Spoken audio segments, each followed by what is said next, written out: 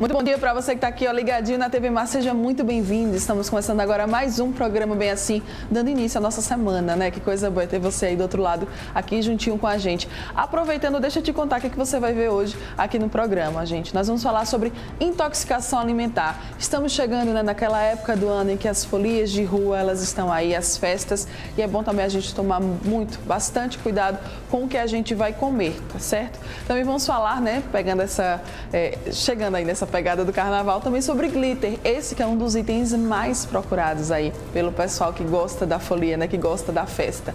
E também, gente, ainda vamos conhecer um food truck aqui que é novo na cidade e a gente vai compartilhar essa dica com você.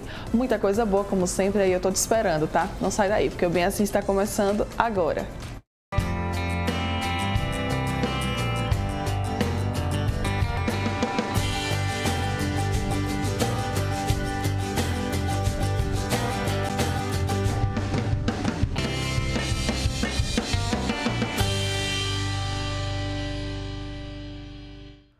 Muito bom dia para você que está aqui ó, ligadinho na TV Mar, você que nos acompanha pelo canal 25 da NET, pelo portal gazetaweb.com, pelo nosso aplicativo da TV Mar e também o pessoal que nos assiste aí pela nossa fanpage do Facebook. Muito, muito obrigada tá, pela tua companhia. Seja muito bem-vindo, é um prazer enorme ter você aqui juntinho com a gente. Lembrando das nossas redes sociais, corre lá para acompanhar tá, a TV Mar. Estamos no Instagram, no YouTube e também no Facebook. E tem ainda o nosso WhatsApp, que é para onde você consegue conversar com a nossa produção, ok? Então estamos aguardando o teu contato, estamos te esperando. Vamos embora, começar o dia, que hoje tem muita coisa, gente. Carnaval tá chegando, né? E também tem muita folia de rua que antecede o carnaval. E aí, às vezes, a gente está nessas festas, a fome bate, é inevitável, e você vai comer alguma coisa da rua. Só que tem que ter muito cuidado, tá? Porque as intoxicações alimentares, elas podem ser bastante graves. Quem conversa com a gente sobre esse tema agora aqui no estúdio é o infectologista Fernando Maia. Muito bom dia doutor Fernando. Bom dia, bom? Muito obrigada mais uma vez pela presença aqui no Bem Assim. Vamos começar então explicando o que, é que vai configurar uma intoxicação alimentar? É, é a, a intoxicação é aquela condição que você come um alimento qualquer e poucas horas depois de, de, se alimentar, até 24 horas, você tem um quadro de diarreia, náusea, vômito súbito, certo. geralmente sem febre. Importante. Que existe a intoxicação alimentar, existe a infecção alimentar. Uhum. A, a, infecção, existe, existe bactérias envolvidas, você engole a bactéria, a bactéria faz infecção no, no estômago, no intestino e, e geralmente acompanha febre, às vezes sangramento intestinal e outros, outros sintomas. A intoxicação é a toxina que a bactéria, uma bactéria produz tá. e contamina o alimento. Então, quais são os alimentos mais frequentemente envolvidos em intoxicação alimentar? É aquele, aquele alimento que é, é, é consumido cru, sem, sem cozimento, ou aquele alimento que é, por exemplo, um alimento é, cremoso, maionese, uma salada, algum doce cremoso que é guardado fora da geladeira. Uhum. E aí, nesse calor que a gente vive, as bactérias se reproduzem com facilidade e aí basta uma mão suja. Basta você não lavar as mãos antes de preparar o alimento ou você, a pessoa que preparou até, até lavou as mãos, mas uma pessoa que foi lá tirar um pedacinho, não lavou a mão e contaminou, pegou, pegou um pedacinho, pronto, aquilo é suficiente para a bactéria começar a se multiplicar e produzir toxina. Uma bactéria muito frequentemente envolvida nisso é, são bactérias da nossa pele. Por exemplo, o estafilococcus é, é das mais comuns que fazem isso. Por uhum. isso é que a, a incidência é tão grande. Existem outras bactérias que podem fazer isso também. Um outro exemplo é a salmonela. Ela também Sim. pode causar um quadro parecido. Então, de vez em quando a gente escuta na, na televisão, isso. escuta na mídia, né? Um piquenique, todo mundo acabou no hospital com diarreia, vomitando. Geralmente esses quadros são de, de intoxicação alimentar. Quanto tempo vai durar a intoxicação e a infecção? A infecção, no caso, ela seria mais grave? Sim, é mais grave, a infecção é mais grave. Então, geralmente na, na infecção alimentar, que a pessoa tem febre, tem náusea, tem vômito, tem diarreia, às vezes tem diarreia com sangue, diarreia com muco. A gente geralmente precisa entrar até com antibióticos para poder combater esse, esse problema. Uhum. A intoxicação alimentar, que é mais comum, geralmente é bem mais leve e a tendência dela é que ela seja autolimitada. O que, é que significa isso? Do mesmo, do mesmo jeito que começa, vai embora, sem nenhum tratamento específico. Então, então a, a, a, diarreia, a náusea, o vômito são sintomas desagradáveis, vamos dizer assim, Sim. mas são necessários, porque são uma defesa do, do nosso organismo. Dizer, o organismo identificou que tem um, um, fator estranho, um fator de agressão ali. Então, qual é a defesa que a gente tem? É botar para fora. Então, é por isso, logo aparece a diarreia, logo aparece a náusea e o vômito, que é para eliminar aquela toxina. E é importante que seja eliminada, porque quanto mais rápido a pessoa botar para fora, mais rápido recupera. A maioria dessas intoxicações não tem um tratamento específico. O que a gente Sim. faz é hidratar para a pessoa repor beber que muito perdeu, líquido. beber muito líquido, exatamente.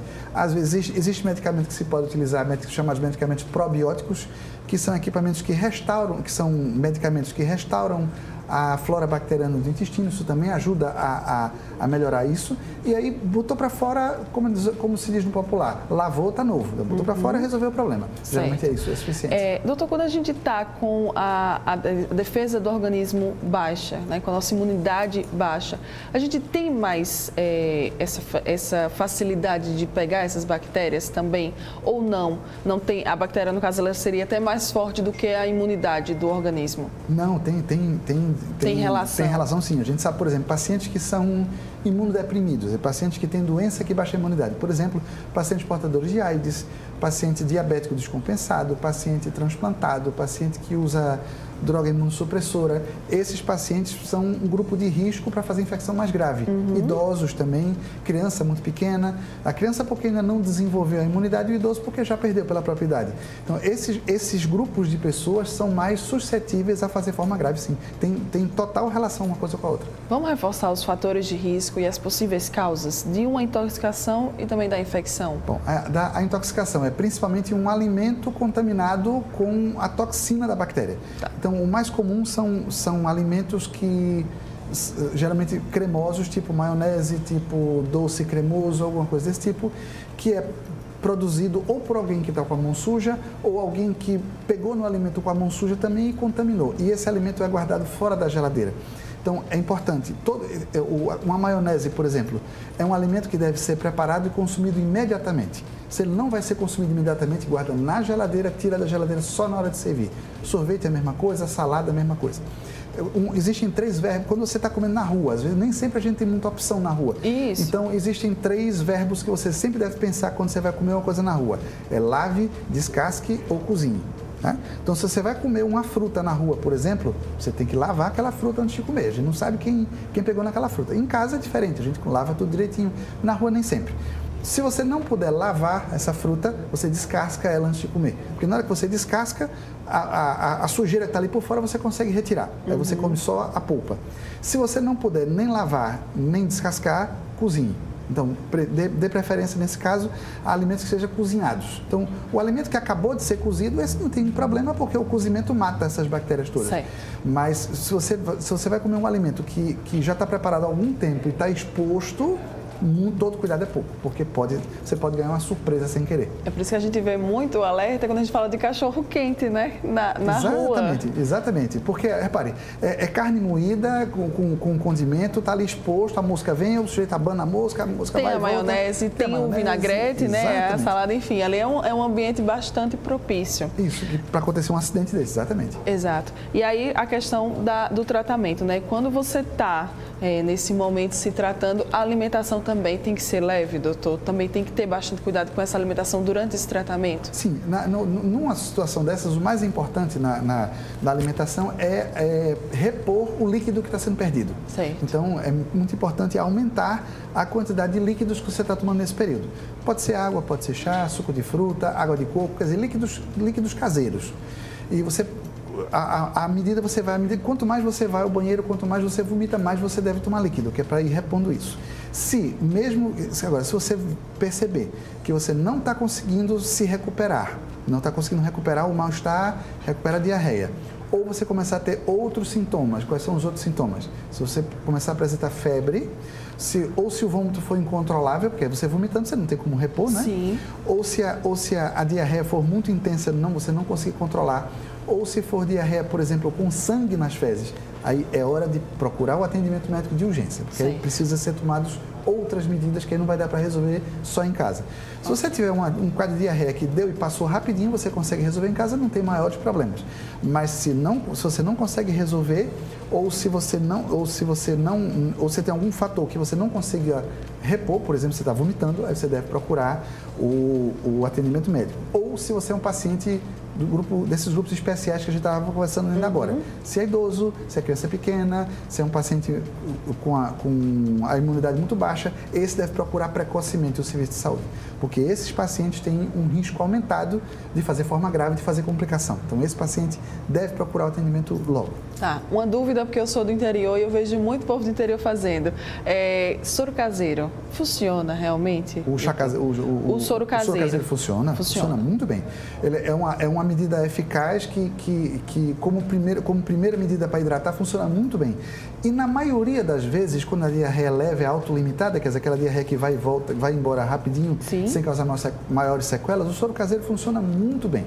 O soro caseiro pode ser substituído por água de coco, pode ser um, um chá que você gosta, o chá que você está habituado a tomar, um suco de fruta, água, água de coco, tudo isso é, é, é, é eficaz para repor essa perda que você está tendo. Ótimo, pronto, muito bem. Doutor, então vamos reforçar, fazer um desafio agora. Três dicas essenciais aí para o pessoal de casa quando a gente fala de intoxicação e de infecção alimentar. Pronto, primeira coisa, o, o, o básico, lavar a mão. Antes de preparar ah. alimento, antes de comer, depois de ir ao banheiro, lavar as mãos. Né? As mãos muitas vezes são o, o nosso veículo de contaminação dessas coisas todas. Então a primeira dica é lavar as mãos todos, se você vai comer na rua, mesmo que você vai comer em casa, se você vai comer um alimento que está cru, uma fruta, por exemplo, lava, lava com água e sabão antes, antes de, de, de comer. De, se você não puder nem lavar, se você não puder lavar, descasque. Você, você descascando, você consegue tirar aquela sujeira que está ali por fora e você evita. Se você não puder nem lavar, nem descascar, cozinhe. Aí você vai dar preferência por alimentos cozidos Quanto, quanto a menos tempo ele tiver sido cozido, melhor. Né? Quanto mais quente ele tiver, melhor, porque você sabe que não tem nenhuma bactéria ali. Então, se você, você passou na rua, às vezes a gente passa aquele, aquele sanduíche que está cheiroso, está bonito, mas está exposto ao ambiente, é melhor não comer, porque a gente pode ter uma surpresa desagradável. Muito bem. E nesse verão, muita hidratação, né? Sim, sim, sempre, sempre. Lembre que não é só quem está na praia, é qualquer pessoa. A gente vive num, a gente vive num, num local muito quente, que a gente sua mesmo sem perceber. Então, então, nessa época do ano é importante, mesmo para quem, tá, quem não está na praia, é importante aumentar a quantidade de líquido que você toma durante o dia. Muito bem, muitas dicas. Que, que coisa boa começar a semana assim, né, gente? Já com muitas dicas para a gente cuidar da nossa saúde. Com o infectologista Fernando Maia, muito obrigada mais uma vez, eu, tá? Eu, eu que agradeço. Bom Obrigado. dia, Bom doutor. Dia. Obrigado. Você que está aqui ligadinho com a gente não vai sair daí, tá? Ainda tem muita coisa boa para rolar aqui no programa. Volto já já.